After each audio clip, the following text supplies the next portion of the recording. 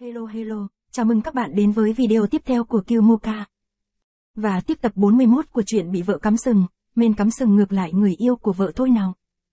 Tập 42 Có lẽ là chính mình nguyên nhân, dù sao cố phỉ nhi cũng hung hăng tổn thương Cao Tuấn, hắn không cùng chính mình thật dễ nói chuyện cũng là bình thường. Nghĩ tới đây, hắn liền nhìn về phía tôn miểu, làm bộ nói ra, miểu miểu, nếu không nhóm chúng ta ra ngoài trò chuyện một cái. Trò chuyện cái gì? Người ra liền biết rõ. Tôn miểu liền đi theo cố văn hoa đi ra.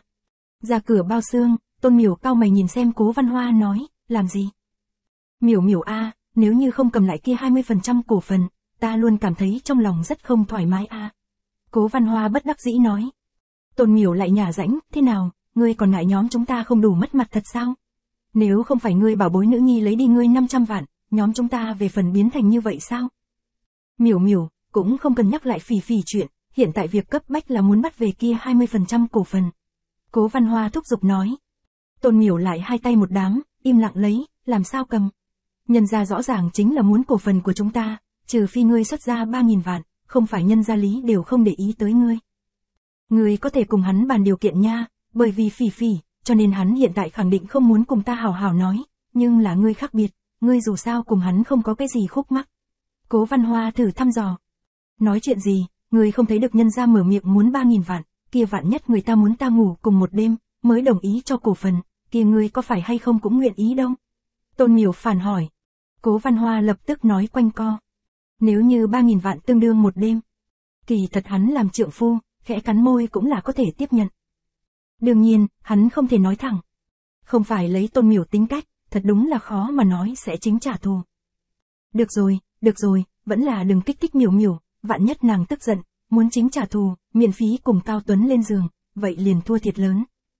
Cố Văn Hoa an ủi tôn miểu, ta không phải ý tứ này, ta chính là nghĩ đến ngươi có thể hay không cùng hắn tâm sự, ta liền không tốt lại tiến vào. Được rồi, biết rõ, đi thôi, tôn miểu khoát khoát tay, sau đó liền đi đi vào, thuận tay đóng cửa. Đứng tại bên ngoài dạp cố văn hoa nhỏ giọng động viên lấy, miểu miểu, cố lên, ta tin tưởng ngươi. Nhưng lại một bên, hắn lại cảm thấy là lạ. Luôn cảm giác mình đem cô vợ trẻ hướng hồ khẩu đi đầy. Chấm. Đương nhiên, nếu như Cao Tuấn coi trọng tôn miểu, lấy một đêm đại giới đem 20% cổ phần trả lại. Kia cố văn hoa cũng không phải không thể tiếp nhận. Chấm. Ai, là người thật khó.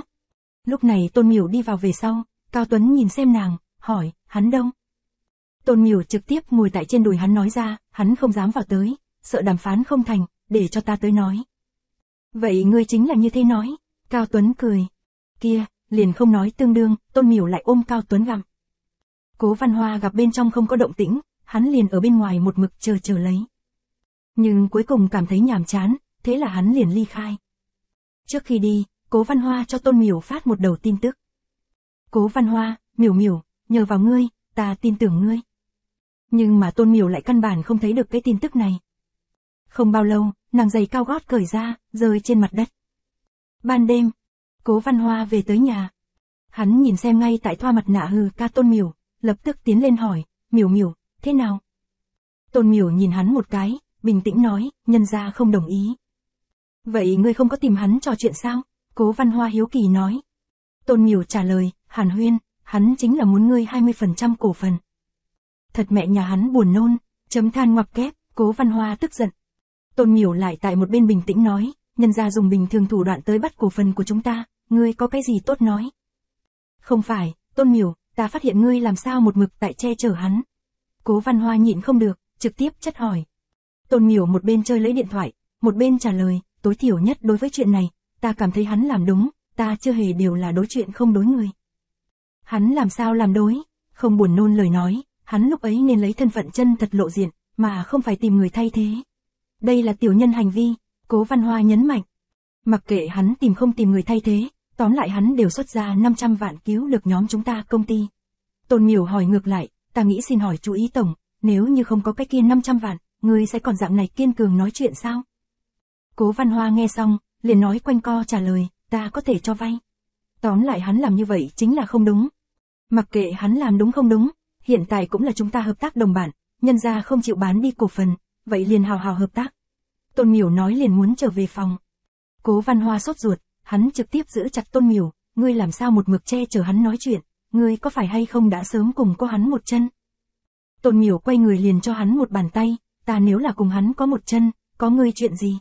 Những năm này, công ty không phải ta tại kinh doanh, chẳng lẽ ngươi tại kinh doanh sao?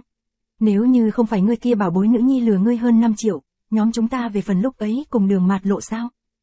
Nói xong nàng liền giật xuống mặt nạ, chuẩn bị đi ra ngoài. Cố văn hoa hô hào nàng, ngươi muốn đi đâu? Ngươi cũng nói ta cùng người khác có một chân, ta không đi thực hiện một cái, chẳng phải là để ngươi thất bại. Miểu miểu, ta sai rồi, ta sai rồi. Cố văn hoa muốn tiến lên lôi kéo. Tôn miểu quay đầu chừng mắt liếc hắn một cái, ngươi lại đụng ta một cái thử một chút, ta đêm nay tìm nam đi ngủ. Hảo hảo, ta không động vào, vậy ta đi, ngươi để ở nhà. Cố văn hoa lo lắng tôn miểu thật sẽ làm như vậy, vội vàng cầm bao ly khai. Đóng cửa lại về sau. Tôn miểu cũng là bình tĩnh, kỳ thật cái này vẻn vẹn chỉ là trả thù cái thứ nhất không. Tiếp qua mấy ngày chờ Diệp luật sư bên kia chuẩn bị sẵn sàng về sau, Tôn Miểu liền có thể chính thức hướng Cố Văn Hoa đưa ra LIH ôn tố tụng. Đến thời điểm Cố Văn Hoa mới thật sự là thảm. Nàng cũng chờ mong mình có thể quang minh chính đại cùng với Cao Tuấn. Một bên khác, Chu Thư Mai nhìn xem Cao Tuấn cho mình chụp ảnh chụp, cũng là rất là cao hứng. Đúng lúc này, cửa phòng mở. Nàng hơi nghi hoặc một chút, liền mở ra cửa phòng ngủ nhìn một cái. Kết quả phát hiện Lâm Bắc Sơn trở về. Nhanh như vậy liền trở lại rồi, Chu Thư Mai hỏi. Lâm Bắc Sơn lên tiếng, ừm, ngươi đi cho ta làm bát mì đi. Trong nhà không có mặt, ngươi điểm thức ăn ngoài đi. Nói xong, Chu Thư Mai liền trở về phòng ngủ chính. Lâm Bắc Sơn nghe xong, ngược lại là cảm thấy nàng hôm nay có chút kỳ quái. Dĩ vãng đừng nói mặt, dù là chính mình yêu cầu, Chu Thư Mai cũng sẽ đặc biệt thay đổi y phục đi siêu thị mua. Bất quá Lâm Bắc Sơn cũng không thèm để ý, cầm lấy điện thoại ra điểm một cái thức ăn ngoài. Đúng lúc này, Kiều Mỹ Anh lại phát tới tin tức. Kiều Mỹ Anh, Sơn ca, lần này châu Âu hành trình rất vui vẻ, tương đương ta nghĩ từ trước đến nay ngươi sinh hoạt. Lâm Bắc Sơn nhìn xem cái tin tức này, nhớ tới chuyến này châu Âu hành trình, Kiều Mỹ Anh luôn luôn hữu ý vô ý cùng hắn đề cập lấy hợp pháp hôn nhân sự tình. Loại này tiểu tâm tư, Lâm Bắc Sơn tự nhiên rõ ràng. Lâm Bắc Sơn, tốt, hôm nào dẫn ngươi đi châu Úc chơi, để ngươi thể nghiệm toàn thế giới đẹp nhất phong cảnh. Giống như vậy niên kỳ tiểu nữ sinh, bánh vẽ là phương pháp tốt nhất. Về phần cho ăn không cho ăn bánh, đó chính là một chuyện. Đương nhiên, có thể cho ăn cái khác đồ vật. Nhưng tuyệt đối không thể là thực tế chỗ tốt. Trong lúc này, Lâm Bắc Sơn mở ra phòng ngủ chính cửa. Hắn gặp Chu Thư Mai chính vui vẻ nhìn xem điện thoại, liền hỏi, đang nhìn cái gì đây? Không có gì, trước hai ngày cùng tỉ muội đi chơi, sau đó chụp hình. Chu Thư Mai bình tĩnh trả lời. Ta xem một chút. Chu Thư Mai cũng không nghĩ tới Lâm Bắc Sơn vậy mà chủ động yêu cầu nhìn ảnh chụp. May mắn album ảnh bên trong không có Cao Tuấn ảnh chụp, thế là Chu Thư Mai đưa di động đưa tới. Lâm Bắc Sơn gặp nàng như thế chủ động, chỉ là đơn giản nhìn qua sau liền tán dương lấy, chụp không tệ, thật đẹp mắt. Sau đó hắn liền đi ra phòng ngủ. Chu Thư Mai cũng biết rõ, Lâm Bắc Sơn không có khả năng đêm nay tại phòng ngủ chính nghỉ ngơi. Hai vợ chồng đã điểm giường rất nhiều năm. Hắn hiện tại cùng thủ hoạt quả không có gì khác biệt. Qua nửa giờ sau, động tĩnh bên ngoài không có. Chu Thư Mai biết rõ Lâm Bắc Sơn đã nghỉ ngơi. Thế là nàng ấn mở WeChat, tìm được Cao Tuấn. Chu Thư Mai, đệ đệ, hôm nay bận bịu sao? Cao Tuấn rất nhanh liền hồi phục. Cao Tuấn, còn tốt, không phải đặc biệt bận bịu, cho nên có rảnh nghĩ đến Thư Mai tỷ. Chu Thư Mai, lại bắt ta nói giỡn đúng không? Cao Tuấn, ta nói thế nhưng là lời thật lòng, nếu có nửa câu lời nói dối, ta liền phát thề độc. Chu Thư Mai xem xét, gấp đến độ vội vàng phát một đầu giọng nói, ngươi cái đồ ngốc, đừng loạn phát thề độc. Cao Tuấn, tỷ, thanh âm của ngươi thật là dễ nghe. Chu Thư Mai nhìn xem Cao Tuấn gửi tới tin tức, không khỏi đỏ mặt, thân thể cũng sẽ dần dần mềm nhũn. Chu Thư Mai, vậy tỷ tỷ về sau đều phát giọng nói cho ngươi. Cao Tuấn, tốt, tỷ, ngươi thật tốt. Cao Tuấn, tốt đến ta đều muốn chiếm hữu ngươi.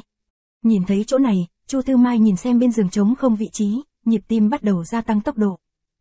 Hắn muốn chiếm hữu ta, chấm ngoặc kép. Cái này thật có thể chứ? Chu Thư Mai trong đầu, lại có ý nghĩ như vậy. Chấm. Thời khắc này Chu Thư Mai còn không dám vượt qua kia một bước cuối cùng. Dù sao nếu như hai người thật làm. Như vậy chính mình sẽ cùng Lâm Bắc Sơn hai cha con không có gì khác biệt. Cao Tuấn, ha ha, ta nói đùa, Thư Mai tỷ ngươi không nên quá chấn kinh ha. Chu Thư Mai, ta cũng không có coi là thật, đặt vào 20 tuổi tiểu cô nương, ngươi không yêu, ngươi nói ngươi muốn chiếm hữu ta, ta cũng không tin tương đương. Cao Tuấn, 20 tuổi tiểu cô nương có cái gì tốt, tính tình lớn còn phải hống, lại nói, Thư Mai tỷ hiện tại nhan giá trị cũng không thể so với 20 tuổi tiểu cô nương tranh lệch. Cao Tuấn, không tin, ngươi bây giờ chụp một tấm hình cho ta xem một chút. Chu Thư Mai, ngươi cái tiểu phui đàn, vụng trộm biện pháp muốn hình của ta đúng không? Cao Tuấn, Thư Mai tỷ, ngươi liền nói ngươi có cho hay không a tương đương. Chu Thư Mai, nhanh nhanh cho, ngươi muốn cái gì ta đều cho ngươi, ngươi chờ ha. Chu Thư Mai bị Cao Tuấn lừa dối một bộ một bộ. Cũng chính là hiện tại hai người không tại một gian phòng ngủ. Bằng không, dằm ba câu khẳng định liền có thể cầm xuống. Dù sao Chu Thư Mai hiện tại đã là ngập nước. Nàng nhìn xem album ảnh, tìm một chương dáng vóc ảnh đẹp, phát cho Cao Tuấn. Chu Thư Mai. Không thể không nói. Tấm hình này xác thực rất hiền dáng vóc. Tiểu mụ váy phối hợp bó sát người áo. Đem sự nghiệp tuyến thể hiện phát huy vô cùng tinh tế. Từ tấm hình này đến xem, cũng đủ để nói rõ, kỳ thật nhà giàu phu nhân dù là niên kỳ đi lên, chỉ cần kịp thời bảo dưỡng cũng có thể đạt tới không tệ trạng thái. Suy cho cùng vẫn là một điểm. Đầu tiên đến có tiền, tiếp theo không cần đi làm. Dạng này mới có đại lượng tinh lực đợi tại thẩm mỹ viện dưỡng da, cùng đi phòng tập thể thao rèn luyện dáng vóc. Chu Thư Mai vừa lúc chính là cái này quần thể. Thường xuyên cùng cư xã mấy cái qua thái nhất khối đi bảo dưỡng. Cao Tuấn thừa cơ nói ra, còn muốn lại nhìn một chương. Chu Thư Mai hồi phục, đã không có A, trước đó album ảnh trên ảnh chụp ngươi cũng đã nhìn qua. Cao Tuấn, vậy liền hiện chụp một chương tương đương ta muốn thấy ngươi mới nhất trạng thái. Chu Thư Mai không lay chuyển được Cao Tuấn yêu cầu. Đương nhiên nàng cũng vui vẻ ở trong đó. Được người tán thưởng cũng là một kiện rất không tệ sự tình. Cho nên cân nhắc phía dưới, nàng vẫn là phát một chương tự chụp. Chu Thư Mai. Cao Tuấn, chương này đẹp mắt, liền ưa thích loại phong cách này. Chu Thư Mai chậm rãi bị hắn dẫn dắt đến, cũng là cảm thấy cho hắn phát ảnh chụp là một kiện chuyện hạnh phúc. Tâm tình của mình cũng đi theo phấn khởi. Sau đó nàng nhìn cách đó không xa màn cửa, một thời gian có ý nghĩ. Chu Thư Mai, ngươi còn muốn nhìn không? Cao Tuấn, đương nhiên, Thư Mai tỷ nhan giá trị cao như vậy, khẳng định muốn nhìn nha. Chu Thư Mai, nhưng là cái này một tấm hình không cho ngươi nhìn nhan giá trị. Cao Tuấn, kia nhìn cái gì? Chu Thư Mai, nhìn dáng vóc. Cao Tuấn, kia liền càng phải xem nhìn, dù sao Thư Mai tỷ dáng vóc là ta gặp qua số lượng không nhiều còn có thể bảo trì tốt như vậy nữ nhân. Chu Thư Mai, chỉ toàn nói mò, ta suy nghĩ ngươi gặp phải nữ nhân khẳng định đều là vóc người đẹp. Cao Tuấn, thật không có, thiên địa lương tâm a. Chu Thư Mai tự nhiên mặc kệ Cao Tuấn nói lời là thật là giả, dù sao nàng hiện tại cũng bắt đầu hưởng thụ chụp ảnh được người tán thưởng quá trình. Sau đó nàng đỡ điện thoại di động tốt giá đỡ ấn chỉ hoãn chụp ảnh. Chính mình thì là đi vào song xa đằng sau, bắt đầu bày biện tư thế. Không bao lâu, một chương xinh đẹp dáng vóc ảnh chụp ra. Chu Thư Mai nhìn xem tấm hình này, cũng là rất hài lòng. Thế là phát cho Cao Tuấn. Chu Thư Mai. Cao Tuấn xem xét, ngược lại là nhìn nhiều một chút. Nói thật, cũng chỉ có Chu Thư Mai dạng này nhân thê, mới có thể hiểu được nam nhân muốn cái gì. Nếu để cho một cái 20 tuổi tiểu cô nương chụp hình, đoán chừng cũng chính là thẹn thùng nhìn xem ống kính tới một cái tự chụp. Nhưng Chu Thư Mai khác biệt, hắn biết rõ nam nhân để ý điểm là cái gì. Nam nhân trẻ tuổi chú trọng khuôn mặt. Giống Cao Tuấn loại này đã thể nghiệm qua nữ nhân nam nhân, tự nhiên càng coi trọng vóc người. Thêm đầu tuần Thư Mai cũng biết rõ, nhan giá trị cùng dáng vóc so sánh dưới, chính mình dáng vóc sẽ càng thêm xuất chúng. Cho nên lấy thừa bù thiếu. Chu Thư Mai cái này một tấm hình cũng triệt để hấp dẫn Cao Tuấn.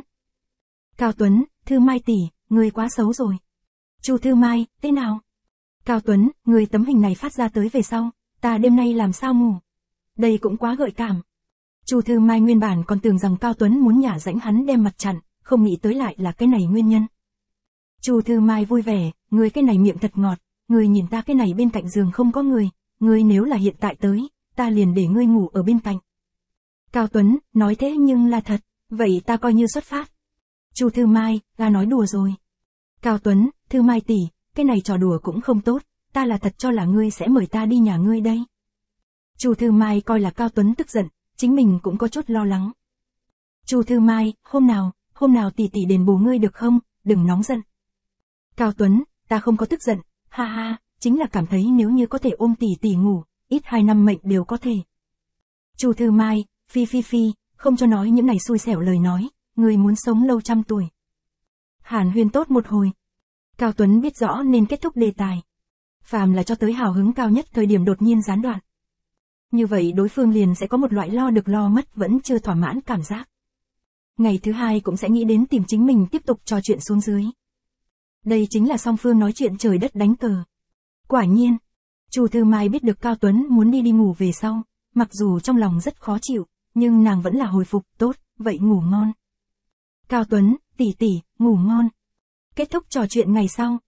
Chu Thư Mai tâm tình lập tức lại mất mát. Cùng vừa mới biến hóa đơn giản chính là một trời một vực. Nàng nhìn xem phòng ngủ chính cửa ra vào, biết rõ Lâm Bắc Sơn lúc này khả năng đang cùng Tiểu Tam trò chuyện. Chính mình lại phòng không gối chiếc. Loại tư vị này quả thực là quá khó tiếp thu rồi. Thế là Chu Thư Mai liền nghĩ tới Cao Tuấn. Một cá thể thiếp ôn nhu đẹp trai tuổi trẻ tiểu hòa tử. Điểm nào nhất không thể so với Lâm Bắc Sơn tốt. Chu Thư Mai tâm tình vào giờ khắc này phát sinh một chút xíu biến hóa. Dựa vào cái gì Lâm Bắc Sơn ngươi có thể tiêu giao khoái hoạt, ta Chu Thư Mai lại muốn phòng không gối chiếc. Dựa vào cái gì, chấm than. Ngươi có thể tìm tiểu tam, ta liền không thể tìm ta đệ đệ sao? Chu Thư Mai cảm xúc càng ngày càng kích động. Thậm chí hận không thể trực tiếp mở ra phòng ngủ chính cửa, tìm tới Lâm Bắc Sơn rằng co. Nhưng là nàng lại không dám. Dù sao hiện tại cái nhà này còn phải dựa vào hắn nuôi. Đã hắn mặc kệ chính mình, vậy liền tự mình thẳng mình. Chu Thư Mai lập tức nhìn xem bên cạnh con rối. Đây là Cao Tuấn đưa cho nàng. Nghĩ tới đây, nàng liền đóng lại đèn, sau đó thưởng thức ngẫu bỏ vào trong chăn. Trần Hạo Nhiên bên này đã bắt đầu bắt đầu chuẩn bị đại xuyên diễm nồi lẩu công ty thành lập. Trải qua một loạt thủ tục, bọn hắn cũng chọn tốt một cái thích hợp địa chỉ. Cái này một ngày, không ít người đều đến chúc mừng. Cao Tuấn để Trần Hạo Nhiên hỗ trợ tiếp đãi đến đây chúc mừng thương nghiệp cung ứng các đại biểu. Mà Lương Nhã Kỳ làm tiệm lầu tổng cửa hàng trường, tự nhiên cũng là chiêu bài đảm đương. Cao Tuấn lôi kéo từ Vũ Thiến đi vào Lương Nhã Kỳ trước mặt, lập tức giới thiệu nói, Nhã Kỳ, đây là chi nhánh phó cửa hàng trường, tiếp qua không lâu, sẽ trở thành chi nhánh cửa hàng trường. Từ Vũ Thiến đã sớm nghe nói tiệm lầu tổng cửa hàng trường là một cái cực kỳ xinh đẹp nữ nhân. Những lời này vẫn là từ Trần Hạo Nhiên trong miệng biết được. Bây giờ, làm nàng nhìn thấy Lương Nhã Kỳ về sau, trong lòng cũng không khỏi hâm mộ. Cứ việc tự nhận là chính mình dáng vóc cùng nhan giá trị đều ở trên thừa, nhưng đối mặt Lương Nhã Kỳ, vẫn là thoáng rơi xuống hạ phong. Lương Nhã Kỳ nhìn trước mắt cái này từ Vũ Thiến, mỉm cười duỗi xuất thủ nói ra, người tốt lắm, ta gọi Lương Nhã Kỳ. Nhã Kỳ tỷ người tốt, ta gọi từ Vũ Thiến, từ Vũ Thiến cung kính nói. Hai cái nữ nhân lẫn nhau nhìn xem đối phương, vẻn vẹn chính là như vậy một nháy mắt. Nữ nhân giác quan thứ sáu cũng đều lẫn nhau thông. Nàng ưa thích Cao Tuấn. Đây là Lương Nhã Kỳ cùng từ Vũ Thiến thời khắc này ý nghĩ. Hai cái nữ nhân đều chính xác đoán ra tâm tư của đối phương. Cho nên nàng nhóm không nói gì thời điểm, trong đầu đã não bổ một loạt kịch bản. Cao Tuấn lo lắng hai người trò chuyện nhiều về sau, sẽ dính đến một chút đề tài nhạy cảm. Thế là hắn liền cùng Lương Nhã Kỳ nói, Nhã Kỳ, ngươi đi cùng hạo nhiên một khối chiêu đãi một cái những cái kia thương nghiệp cung ứng đi, dù sao hạo nhiên là cái đại nam nhân, có một ít chi tiết khẳng định không bằng ngươi. Được, Lương Nhã Kỳ gật đầu, lập tức đi tới. Từ thiến gặp nàng sau khi đi, cũng thoáng thở dài một hơi. Một. Sau đó, nàng nhìn xem Cao Tuấn hỏi, Tuấn ca. Ta muốn làm thứ gì sao?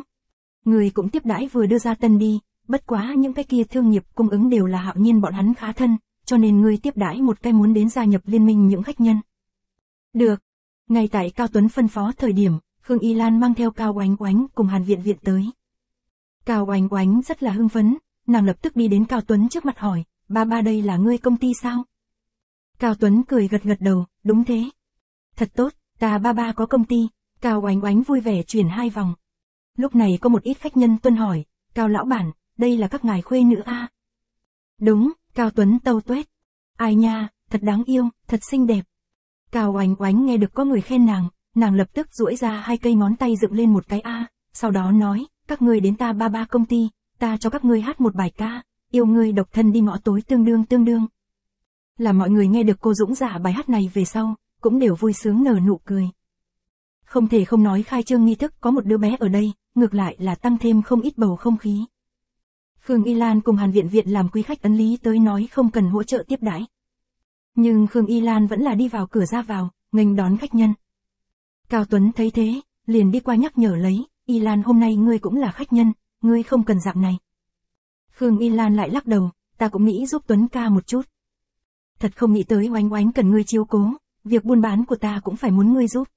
Cao Tuấn cười, trước đó ta liền không nên nghe lời ngươi, chỉ cấp ngươi mua một cỗ xe điện, nên mua cho ngươi một cỗ xe sang trọng, dạng này ta mới không có như vậy ấy nấy. Tuấn ca, ngươi nói lời này nói quá lời, ta chiếu cô oanh oánh cùng giúp cho ngươi bận bịu đều là ta tự nguyện. Khương Ngân Lan nói, vậy được, kia hôm nào ta cho ngươi chuẩn bị một cái tiểu lễ vật. Cao Tuấn ám chỉ. Khương Y Lan ngược lại cũng có chút chờ mong, tốt lắm. Sau đó Cao Tuấn liền nhận được Hà Tâm Di điện thoại. Tâm Di, thế nào? Tuấn ca, ta tại lớn hạ môn miệng, nhưng là ta tìm không thấy thang máy. Hà Tâm Di hỏi. Cao Tuấn giải thích ta xuống tới đón ngươi đi. Tốt tương đương. Kỳ thật Cao Tuấn nguyên bản không có ý định để Hà Tâm Di tới tham gia khai trương nghi thức. Dù sao tại cùng một cái trường hợp bên trong xuất hiện nữ nhân càng nhiều, mình có thể đem khống phạm trù cũng liền càng khó khống chế. Nhưng cân nhắc đến Hà Tâm Di dù sao cũng vì chính mình sự nghiệp cống hiến không ít lực lượng. Mà lại cũng đem lần thứ nhất giao cho mình. Nghĩ tới nghĩ lui, Cao Tuấn vẫn là lựa chọn để Hà Tâm Di tới. Sau đó hắn liền đi xuống lầu. Lúc này từ Vũ Thiến vừa lúc đưa một vị quý khách ly khai. Làm nàng đi vào cửa ra vào nhìn thấy Khương Y Lan về sau, càng là kinh ngạc không thôi. Nếu như nói vừa mới bên trong lương nhã kỳ, mang theo ngự tỷ thành thục phong cách. Như vậy cái này một vị nữ sinh, tự nhiên hào phóng thiên kim khí chất cũng rất thụ chú ý. Nàng lúc này mới ý thức được một sự kiện. Đó chính là Cao Tuấn bên người căn bản không thiếu mỹ nữ. Thậm chí so với nàng xinh đẹp hơn nữ nhân. Đương nhiên, từ vụ thiến cũng biết mình chưa từng có yêu cầu xa vời qua muốn làm Cao Tuấn hợp pháp thê tử. Lấy nàng trước mắt thân phận và địa vị hoàn toàn không xứng với. Nàng chỉ là cảm kích Cao Tuấn có thể kéo nàng một thanh, cho nên dù là hiến thân cho Cao Tuấn, từ vụ thiến cũng cảm thấy đây là một kiện chuyện hạnh phúc. Ngay tại nàng coi là, chính mình đối thủ cạnh tranh khả năng cũng chỉ có hai cái thời điểm. Cao Tuấn lại dẫn một cái nữ nhân đi ra thang máy. Từ Vũ Thiến nhìn xem Hà Tâm Di, nhìn xem nàng kia gần như hoàn mỹ dáng vóc, một thời gian không biết rõ nên nói cái gì. Khương Y Lan cũng phát hiện. Hà Tâm Di vừa chuẩn bị mở miệng, cũng lập tức nhìn thấy đứng tại cửa ra vào hai cái nữ nhân. Cao Tuấn không nghĩ tới từ Vũ Thiến cùng Khương Y Lan đều tại công ty cửa ra vào, thế là hắn cũng hào phóng giới thiệu. Vị này là nồi lẩu chi nhánh phó cửa hàng trưởng từ Vũ Thiến. Vị này là ta nữ nhi nhà trẻ lão sư, bình thường cũng là may mắn mà có nàng chiếu cố oánh oánh, Khương Y Lan. Ta trước đó đầu tư một nhà phòng tập thể thao, vị này chính là phòng tập thể thao người phụ trách, Hạ Tâm Di. Cao Tuấn mặt không đỏ, tim không đập mạnh mỉm cười giới thiệu nói. Lúc này Trần Hạo Nhiên cũng chú ý tới phía ngoài tình huống. Hắn cũng không khỏi đến âm thầm cảm khái, má ơi, Tam Quốc đỉnh lập, vây quanh một cái hán hiến đế sao? Không đúng, trong phòng còn có một cái điêu thuyền đây, đợi lát nữa điêu thuyền nếu là phát hiện bên ngoài còn có ba cái nữ nhân, không biết rõ sẽ là dạng gì biểu hiện. Trần Hạo Nhiên nói tới điêu thuyền tự nhiên là Lương Nhã Kỳ. Lúc này Lương Nhã Kỳ còn tại cho muốn gia nhập liên minh những khách nhân giới thiệu bây giờ đại xuyên diễm nồi lẩu yêu thế. Mà Cao Tuấn tự nhiên biết rõ, nếu như không làm thứ gì, rất có thể sẽ hâu không được tràng diện. Thế là qua nửa giờ sau, hắn đơn độc tìm tới Khương Y Lan, cùng nàng nói ra, Y Lan, nơi này đại nhân nhiều lắm, ta sợ oánh oánh không quá quen thuộc, nếu không ngươi trước mang oánh oánh đi đối diện trung tâm thương mại đi dạo một cái. Được. Khương Y Lan cảm thấy có mấy phần đạo lý, thế là liền đi vào trong công ty, mang theo cao oánh oánh cùng Hàn Viện Viện ly khai. Hàn Viện Viện đi ra cửa ra vào thời điểm, cũng phát hiện Hà Tâm Di. Ngược lại là trên dưới đánh giá một phen. Sau đó Cao Tuấn lại cho Trần Hạo Nhiên phát ra tin tức. Để hắn đem từ Vũ Thiến Chi đi. Hiện tại liền chỉ còn lại Hà Tâm Di. Cao Tuấn tìm tới Hà Tâm Di, hỏi, đến tham gia khai trương nghi thức, cảm thụ như thế nào? Rất tốt nha, thật náo nhiệt, Hà Tâm Di đáp trả. Cuối cùng nàng lại thử thăm dò, Tuấn ca, ta mới phát hiện nguyên lai like bên cạnh ngươi có nhiều như vậy mỹ nữ nha. Đúng vậy a, ta bên cạnh không thì có một vị sao? Cao Tuấn vui vẻ nói. Hà Tâm Di giải thích nói, vậy ta còn có cơ hội sao? Cái gì cơ hội? Cao Tuấn hỏi. Hà Tâm Di cẩn thận nghiêm túc thử thăm dò, có thể cùng với ngươi cơ hội. Kia chúng ta bây giờ không phải tại một khối sao? Hà Tâm Di nghe xong, cũng là mỉm cười, đúng thế. Sau đó nàng đứng lên, hồi đáp, ta khả năng tại cái này cũng giúp không lên gấp cái gì, ngược lại còn một mực trì hoãn Tuấn ca thời gian, nếu không ta đi trước đi. Sẽ không trì hoãn ta thời gian, Cao Tuấn đáp trả, bất quá khai trương nghi thức cũng không có gì chơi vui, nếu không ngươi đi vạn đạt thương trường đi dạo phố, cho ngươi chuyển ít tiền mua mua bao. Hà Tâm Di nghe xong vội vàng ngăn cản, không cần, Tuấn ca, chính ta có tiền. Ngươi có tiền là sự tình của ngươi, ta cho ngươi tiêu tiền là sự tình của ta, ngươi cũng không nên xen vào việc của người khác nha. Cao Tuấn làm bộ nghiêm túc nói. Hà Tâm Di nở nụ cười, được. Sau đó nàng cầm lấy điện thoại ra, nhìn thấy Cao Tuấn chuyển 5 vạn khối tiền về sau, mở to hai mắt nhìn, Tuấn ca ngươi, ngươi làm sao chuyển nhiều tiền như vậy? Ngươi giúp ta kiếm tiền, mà lại yoga tư thế cái gì đều chịu học, chút tiền ấy cũng không nhiều. Cao Tuấn bình tĩnh nói. Kỳ thật Hà Tâm Di nhìn thấy hai cái cao chất lượng mỹ nữ tại Cao Tuấn bên cạnh, nói không ăn giống kia là giả. Nhưng là bây giờ Cao Tuấn con mắt đều không nháy mắt một cái, liền chuyển chính mình 5 vạn khối tiền, tâm tình ngược lại là lại khá hơn một chút. Hà Tâm Di liền đề nghị lấy, vậy ta đi mua một chút mỹ phẩm dưỡng da, thuận tiện mua một chút quần áo đẹp, đến thời điểm mặc cho ngươi nhìn. Được. Cứ như vậy, Hà Tâm Di cũng bị Cao Tuấn đuổi. Cao Tuấn nhìn xem trên điện thoại di động 5 vạn khối tiền chuyển khoản screenshot, cũng không đau lòng. Dù sao dù nói thế nào, nhân ra cũng là theo chính mình. 5 vạn khối tiền không tính là gì.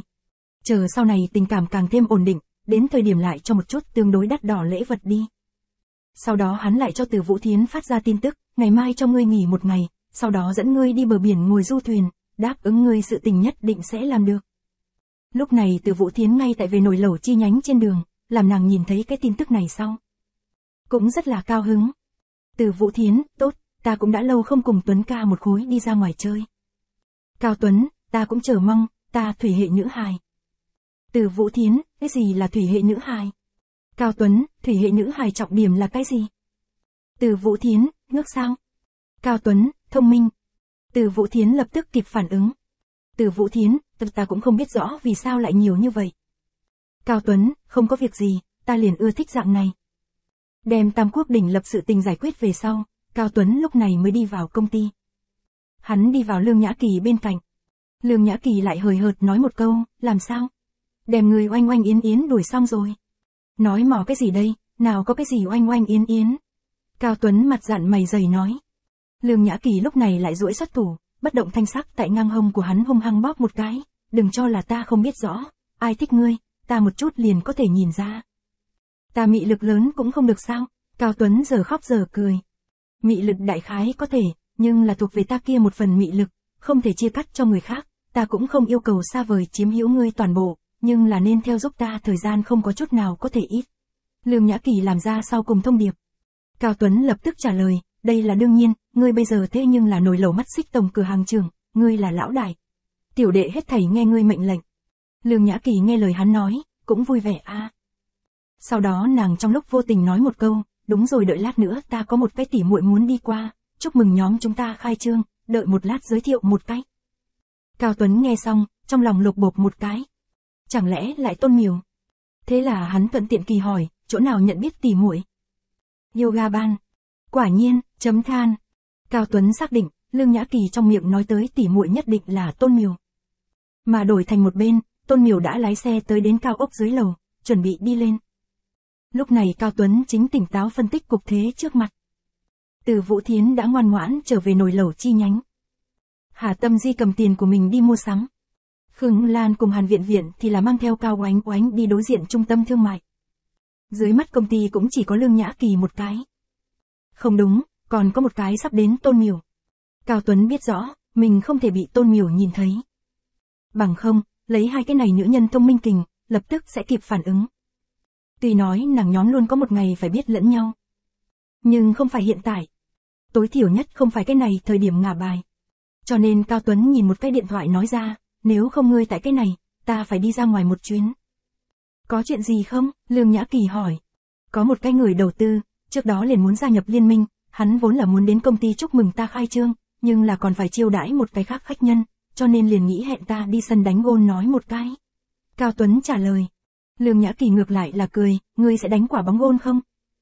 Ta không biết a, à, nhưng là có thể học nha. Cao Tuấn vui vẻ nói. Lương Nhã Kỳ nhắc nhở lấy, có thể học, nhưng là không thể để cho hắn nữ nhân hắn dạy ngươi, về sau ta có thể dạy ngươi. Minh Bạch. Cao Tuấn lập tức phất phất tay, ly khai công ty. Khi hắn chân trước bước vào thang máy. Một cái khác cửa thang máy lại mở. Tôn Miểu nhìn xem Chu Vi, lập tức bấm Lương Nhã Kỳ điện thoại. Lương Nhã Kỳ lập tức từ trong công ty đi ra. Kỳ Kỳ. Miểu Miểu. Hai cái nữ nhân gặp mặt sau cũng là cao hứng. Lương Nhã Kỳ tiếc nuối nói ra, ngươi nếu là sớm 2 phút đến liền tốt. Tôn Miểu hiếu kỳ nói, làm sao rồi? Ta có thể giới thiệu hắn cho ngươi nhận biết. Lương Nhã Kỳ trả lời. Tôn Miểu tự nhiên biết rõ Lương Nhã Kỳ trong miệng nói tới hắn là ai. Thế là lập tức nhìn xem Chu Vi, hắn ở đâu nha? Ta xem một chút có thể đem nhà ta tỉ muội mê bị ma quỷ ám ảnh, muốn nhìn một chút đến cùng là thần thánh phương nào. Lương Nhã Kỳ giải thích, hắn vừa mới có việc đi ra. Ôi, thật đáng tiếc nha, tôn miểu chiêu chọc, nếu không ta thật muốn nhìn xem nam nhân kia đẹp trai cỡ nào, có thể đem ta tỉ muội mê thành dạng này, nói không chừng ta nhìn thấy về sau đều tâm động. Lương Nhã Kỳ lại cười, ta vậy mới không tin, ngươi như vậy thích ngươi cái kia, làm sao lại để ý ta ưa thích ngươi. Vậy cũng không nhất định a, ta hiện tại chỉ cần là soái ca ta đều yêu tương đương, tôn miểu tâu tuét. Mà đi ra công ty Cao Tuấn cũng thở dài một hơi. Bất kể nói thế nào, hôm nay cũng coi là trốn qua một kiếp. Về phần đằng sau thế nào, hắn cũng không quản được. Bất quá hết thầy còn phải căn cứ thực lực kinh tế, mới có thể có tốt hơn quyền nói chuyện. Ngay tại hắn chuẩn bị đi trung tâm thương mại tìm Khương Y Lan thời điểm. Hệ thống phát tới nhiệm vụ. Nhiệm vụ chính tuyến 10, túc chủ thành công thành lập một nhà chính mình công ty, đáng giá chúc mừng, nếu như trong 3 tháng, vượt qua 10 nhà tiệm lầu gia nhập liên minh, ban thưởng một tòa lục thành vườn hoa hồng biệt thự, này khu biệt thự thể thuộc về châu Á thập đại hào trạch một trong. Diện tích là 1.540 mét vuông, giá trị 1, 9 ức. Nhìn thấy cái này, Cao Tuấn ngược lại là tâm động. Chỉ cần trong 3 tháng, tìm tới 10 nhà tiệm lầu, gia nhập liên minh chính mình nhãn hiệu. Hoàn thành nhiệm vụ về sau liền có thể thu hoạch được một tòa biệt thự. Trước mắt chính mình tất cả tài sản toàn bộ cộng lại, khả năng cũng liền cùng biệt thự này giá trị không sai biệt lắm. Nói cách khác, chỉ cần hoàn thành nhiệm vụ, chính mình tất cả tài sản sẽ gấp bội. Cái này cũng càng thêm kiên định Cao Tuấn muốn khai thác gia nhập liên minh nhãn hiệu quyết tâm. Không chỉ có như thế, hệ thống còn tăng lên một cái hạn thời gian nhiệm vụ. Hạn thời gian nhiệm vụ, lựa chọn một nữ tính bạn lữ, trong vòng nửa canh giờ, khiến cho đối túc chủ độ thiện cảm gia tăng, liền có thể thu hoạch được một cỗ giá trị 400 vạn Bentley. Kiểm chắc ra một chút nữ tính bạn lữ đối túc chủ độ thiện cảm tương đối cao, mời túc chủ lựa chọn, Lương Nhã Kỳ 96, Khương Y Lan 95, Tôn Miểu 96, Hà Tâm Di 94, Từ Vũ Thiến 93, Lâm Hân Tuyền 91, Diệp Hiểu Vi 90, Chu Thư Mai 90, Dương Yên 85, Tô Anna 89. Cao Tuấn nghĩ nghĩ, hiện tại Lương Nhã Kỳ cùng Tôn Miểu tại một khối, chính mình một lần nữa trở về, phong hiểm có chút lớn. Nếu như nhất định phải tìm hai người bọn họ, chính mình còn không bằng từ bỏ cái này một cái nhiệm vụ. Dù sao chiếc xe này cũng không phải không thể không cần. Đương nhiên, ngoại trừ hai người bọn họ, còn có những người khác có thể lựa chọn. Chỉ bất quá muốn tại trong nửa giờ gia tăng độ thiện cảm, ngoại trừ Khương Y Lan tương đối gần bên ngoài, những người khác giống như đều có chút khó khăn. Thế là Cao Tuấn lập tức chạy chậm đến, cùng lúc đó còn bấm Khương Y Lan điện thoại. Lúc này Khương Y Lan đang bị Hàn Viện Viện nhà rãnh. Lan Lan, người đến cùng nghĩ như thế nào nha? Hàn Viện Viện bất đắc dĩ nói lấy, vừa mới ngươi cũng nhìn thấy, Tuấn ca bên người Mỹ nữ thành đàn, nếu như ngươi không nắm chặt hành động, chỉ sợ ngươi thân phận mãi mãi cũng là oánh oánh nhà trẻ lão sư. Khương Y Lan nhìn cách đó không xa cao oánh oánh ngay tại chơi lấy lung lay xe, nhỏ giọng nói ra, ngươi đừng nói lớn tiếng như vậy, vạn nhất bị oánh oánh nghe được sẽ không tốt. Ngươi không cảm thấy ngươi bây giờ như cái bảo mẫu giống nhau sao? Hàn viện viện nhà rãnh, giúp nhân gia mang hài tử, nhưng là danh phận nhưng không có. Nhưng Khương Y Lan lại nghe không đi vào, bởi vì nàng bây giờ đã bị Cao Tuấn mê đến xít sao. Đúng lúc này, điện thoại di động vang lên. Khương Y Lan cầm lấy điện thoại ra, phát hiện là Cao Tuấn gọi điện thoại tới. Huy, Tuấn ca. Cao Tuấn một bên chảy, một bên hỏi, Y Lan, người tại lầu mấy? Ta tại lầu 2, tại Nhi Đồng trong hoan lạc chỗ này, thế nào? Người bây giờ thang máy phương hướng đi đến, để viện viện mang theo oánh oánh. Cao Tuấn nhắc nhở lấy. Mặc dù Khương Y Lan không biết rõ Cao Tuấn muốn làm gì, nhưng nàng vẫn là làm theo, được. Cúp điện thoại về sau, Khương Y Lan nhìn xem Hàn Viện Viện nói ra, Viện Viện, ngươi nhìn xem oánh oánh, Tuấn ca tìm ta có việc. Nói xong, nàng liền bước nhanh đi tới nơi thang máy. Hàn Viện Viện nhìn xem Khương Y Lan sốt ruột vội vàng dáng vẻ, cũng không khỏi đến nhà rãnh, nhân ra một gọi ngươi liền chạy, thật phục, lưu lại ta một cái đại oan trùng, giúp hai ngươi nhìn hài tử. Lúc này Khương Y Lan bước nhanh đi vào cửa thang máy. Vừa vặn Cao Tuấn từ trong thang máy đi ra. Hai người bốn mắt tương đối. Khương Y Lan hỏi, Tuấn ca thế nào? Nàng coi là xảy ra chuyện gì? Không nghĩ tới Cao Tuấn trực tiếp đem nàng kéo đến an toàn thông đạo đầu bậc thang. Nơi này tương đối ẩn nấp, không có người trải qua. Khương Y Lan bị hắn một thanh kéo vào đầu bậc thang, rất là kinh ngạc, vội hỏi lấy, Tuấn ca, đến cùng thế nào? Cao Tuấn ôm nàng nói ra, ta đoán ngươi vừa mới khẳng định trong lòng có chút thất lạc. Khương Y Lan nghe xong, có chút nói quanh co, nhưng nàng vẫn là lắc đầu nói ra, ta ta không có thất lạc nha. Cao Tuấn thì là đem tóc của nàng lý đến bên tai, sau đó nhỏ giọng nói ra, ta nhìn ra được, ngươi không nên gạt ta. Khương Y Lan giống như là bị vạch trần tâm tư, trầm mặc không nói.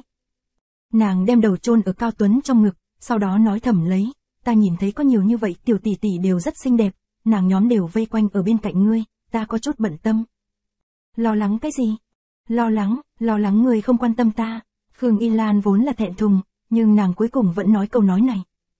Cao Tuấn lập tức bưng lấy mặt của nàng, thâm tình hôn xuống. Quả nhiên, không có chuyện gì là không thể dùng một nụ hôn giải quyết. Nếu có, vậy liền nhiều thân hai lần. Lúc này Khương Y Lan toàn thân mềm nhũn, Cao Tuấn ôm nàng, nàng thì dựa vào tại Cao Tuấn trong ngực. Hưởng thụ lấy cái này hôn thời khắc. Hai người tại cái này nơi hẻo lánh bên trong, đang khẩn trương kích thích sau khi, trong đầu nhiều ba án không ngừng bài tiết. Gặm nửa giờ sau, Cao Tuấn lúc này mới buông lỏng ra Khương Y Lan. Khương Y Lan lúc này đỏ mặt nhìn về phía hắn, nhóm chúng ta. Kể bên này sẽ có hay không có camera à? Không sao, ai sẽ nhìn chúng ta đây? Cao Tuấn tâu tuét. Ngay tại hai người tán tỉnh thời điểm, hệ thống lập tức đổi mới. Hạn thời gian nhiệm vụ, trong vòng nửa canh giờ, lựa chọn nữ tính bạn Lữ Khương Y Lan đối túc chủ độ thiện cảm gia tăng một, thu hoạch được một cỗ giá trị 400 vạn Bentley. Cao Tuấn ngược lại là cao hứng. Nói hai câu lời tâm tình, ôm Khương Y Lan đích thân lên tốt một hồi, độ thiện cảm liền tăng lên. Thế là hắn mở miệng nói, ta trước kia lao vụt S450, qua hai ngày sang tên cho ngươi đi. Khương Y Lan nghe xong, lập tức lắc đầu, không được không được, xe này quá mắc. Không có việc gì, ta muốn đổi xe, mua một cỗ Bentley. Cao Tuấn trả lời. Khương Y Lan cũng không hiểu xe, nhưng cũng có nghe nói qua Bentley cái này bảng hiệu, nàng cẩn thận nghiêm túc hỏi, có phải hay không rất đắt. Cao Tuấn cười giải thích, còn tốt, 400 vạn khoảng chừng đi. Khương Y Lan mở to hai mắt nhìn, 400 vạn sao? Quá mắc. Cho nên ta định đem kia một cỗ lao vụt S450 sang tên cho ngươi, ngươi muốn sao? Cao Tuấn hỏi. Khương Y Lan liền vội vàng lắc đầu, không muốn không muốn, Tuấn ca cái này quá quý giá, ta không thể nhận. Có thời điểm nam nhân chính là như vậy. Nếu như nữ nhân không phải cưỡng cầu chính mình đi mua cái gì, có lẽ sẽ cảm thấy đối phương vật chất. Nhưng nếu như nữ nhân cái gì cũng không cần, nam nhân lại phải mua một chút đồ vật, chính chứng minh giá trị. Cho nên Cao Tuấn quyết định nói, đã ngươi không muốn, kia hôm nay ta liền dẫn ngươi đi mua sắm, nhìn thấy đẹp mắt ăn ngon, đều mua cho ngươi. Khương Y Lan cũng cười, tốt lắm, vừa vặn oánh oánh muốn đi cây FC, ta cũng muốn đi điểm này một cái kem ly. Ngươi cũng quá xem thường ta, chỉ mua một cái kem ly sao? Vậy liền mua hai cái, không, mua bốn cái, ta một cái, ngươi một cái, oánh oánh một cái, viện viện một cái. Khương Nguyên Lan cùng Hưởng Ân Huệ nói. Cao Tuấn tâu tuét, ngươi vẫn rất sẽ phân phối. Thế là hắn liền nắm Khương Y Lan tay, ly khai góc nhỏ. Sau đó thời gian, Cao Tuấn cũng là hào phóng. Đầu tiên là cho Khương Y Lan mua một cái LV túi sách. Cứ việc Khương Y Lan một mực biểu thị chính mình không muốn mua mắc như vậy túi sách. Nhưng Cao Tuấn vẫn mua một cái giá trị 29.999 hàng hiệu hệ liệt. Cái này nhưng làm Hàn Viện Viện đỏ mắt thèm. Cao Tuấn Trạch nhìn một cái Hàn Viện Viện nói ra, Viện Viện, bình thường ngươi cũng không ít chiếu cố oanh oanh, nếu không ngươi cũng chọn một cái. Hàn Viện Viện mở to hai mắt nhìn, chỉ mình nói ra, ta ta có thể chứ. Đương nhiên, ngươi là Y Lan khuê mật, đương nhiên có thể. Cao Tuấn cười. Hàn Viện Viện lập tức nhìn về phía Khương Y Lan, tìm kiếm đồng ý của nàng. Lúc này Khương Y Lan cũng không biết rõ nên nói cái gì, chỉ có thể nhỏ giọng nói ra, không muốn mua quá đắt, không phải nhóm chúng ta đều không có ý tứ. Hàn viện viện lập tức gật đầu, yên tâm đi, ta sẽ không mua quá đắt. Nàng chọn tới chọn lui, cuối cùng chọn lấy một cây giá trị 7.999 giá đặc biệt túi sách. Cao Tuấn lại nói ra, nếu không ngươi chọn bên cạnh một cái kia đi, cái kia ngươi thích không? Hàn viện viện xem xét, cũng là khẳng định, một cái kia cũng không tệ a, ta xem một chút giá cả. Làm nàng nhìn thấy 13.999 thời điểm, dọa đến lập tức thả lại tại chỗ. Cao Tuấn thì cầm lấy cái túi sách kia, cùng nhau trả tiền. Hắn nhìn xem Hàn Viện Viện cười, kỳ thật cũng không khác biệt, còn không bằng mua một cái tốt một chút bao, nhìn qua càng đại khí hơn một điểm. Cảm ơn Tuấn ca, Hàn Viện Viện rất là cao hứng, nàng lôi kéo Khương Y Lan không ngừng nói Cao Tuấn lời hữu ích, Tuấn ca thật không tệ, ta đã sớm cùng ngươi đã nói người khác tốt. Khương Y Lan gặp nàng thái độ thay đổi, cũng là giờ khóc giờ cười. Nàng nhỏ giọng chất vấn, một cái bao liền đem ngươi đón mua. Tỷ tỷ a, cái này bao, thế nhưng là ta hai tháng tiền lương a. Có thể không đem ta thu mua sao? Dù là hiện tại Tuấn ca làm lại nhiều thương thiên hại lý sự tình, ta đều cảm thấy hắn là có nguyên nhân. Hàn viện viện không não chịu đựng Cao Tuấn. Khương Y Lan nhả rãnh, ngươi phải có chút tiền đồ nha. Ta không có tiền đồ, dù sao Cao đại ca cho lúc trước ta làm qua cơm, bây giờ trả lại ta mua một cái túi sách, từ nay về sau Cao đại ca chính là ta tỷ phu, ngươi chính là tỷ ta, hai người các ngươi bảo bọc ta. Hàn viện viện khẳng định quan hệ của hai người. Lúc này Cao Ánh Oánh thì ngẩng đầu nhìn xem Cao Tuấn, bà bà, ta cũng nghĩ mua bao. Cao Tuấn cười, ngươi còn như thế nhỏ, ngươi muốn mua cái gì bao? Ta mặc kệ, ta cũng cần mua bao. Cao Oánh Oánh lẩm bẩm miệng, Khương lão sư nàng nhóm đều có bao, ta cũng muốn một cái. Khương Y Lan lập tức nói, Oánh Oánh, vậy ta cùng ngươi đi mua gói kỹ sao? Chúng ta đi mua nhi đồng bản túi sách. Tốt, tương đương. Cao Tuấn gặp ba cái nữ nhân đều vui vẻ, nhiệm vụ của mình cũng đều hoàn thành. Mặc dù tiến đến trung tâm thương mại chuyến này, mua túi sách mua đồ trang điểm ngược lại là bỏ ra bàn nhỏ vạn. Nhưng tương đối với kia một cỗ Bentley tới nói, chút tiền ấy cũng không tính là gì. Bởi vì Khương Y Lan muốn dẫn Cao Oánh Oánh đi mua nhỏ ba lô, Cao Tuấn liền ly khai trung tâm thương mại. Mà Chu Thư Mai bên này, từ Vu Lâm Bắc Sơn rơi xuống một cái cặp công văn trong nhà, cho nên hắn liền để Chu Thư Mai cầm cặp công văn đi công ty. Chu Thư Mai cầm cặp công văn, đi vào quầy khách sạn tuân hỏi, Lâm Tổng ở đâu? Quầy khách sạn là một cái vừa tới không lâu nữ nhân viên, nàng nhìn xem Chu Thư Mai hiếu kỳ nói, ngài tìm Lâm Tổng chuyện gì, Lâm Tổng không phải là cái gì người đều có thể gặp. Lúc này Kiều Mỹ Anh nhìn thấy Chu Thư Mai về sau, lập tức đi đến tiến đến trách vị kia quầy khách sạn nữ đồng sự, tiểu nhã, ngươi chuyện gì xảy ra? Vị này là Lâm Tổng Phu Nhân. Quầy khách sạn nữ nhân viên kịp phản ứng, có chút kinh hoàng, vội vàng nói xin lỗi lấy, thật xin lỗi, thật xin lỗi, Lâm Tổng Phu Nhân. Kiều Mỹ Anh lúc này đi đến Chu Thư Mai trước mặt, mỉm cười nói, Lâm Tổng Phu Nhân, ta là Lâm Tổng Thư Ký, trước đó ngài hẳn là gặp qua ta đi, ta gọi Mỹ Anh. Chu Thư Mai nhìn xem tuổi trẻ xinh đẹp Kiều Mỹ Anh, trong lòng ngược lại là có chút không thoải mái. Nàng biết rõ người này chính là Tiểu Tam, nhưng là không có bất kỳ chứng cứ. Lại nói, có chứng cứ cũng vô dụng. Chẳng lẽ lại, còn có thể để Lâm Bắc Sơn tịnh thân xuất hộ sao? Kiều Mỹ Anh cũng tại nhìn từ trên xuống dưới Chu Thư Mai. Nàng thừa nhận Chu Thư Mai bây giờ còn duy trì một cái không tệ dáng vóc. Dù là nàng đến số tuổi này, cũng không nhất định có thể giống nàng dạng này.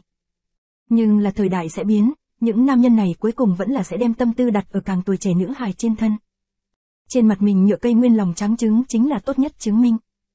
Cho nên Kiều Mỹ Anh cũng không khỏi ngẩng đầu ưỡn ngực, triển hiện mị lực của mình. Nàng nhìn xem Chu Thư Mai trong tay cặp công văn, sau đó hỏi, cái này hẳn là Lâm Tổng muốn cặp công văn đi, Lâm Tổng phu nhân, nếu không ngài đưa cho ta đi, ta thay ngài chuyển giao cho Lâm Tổng.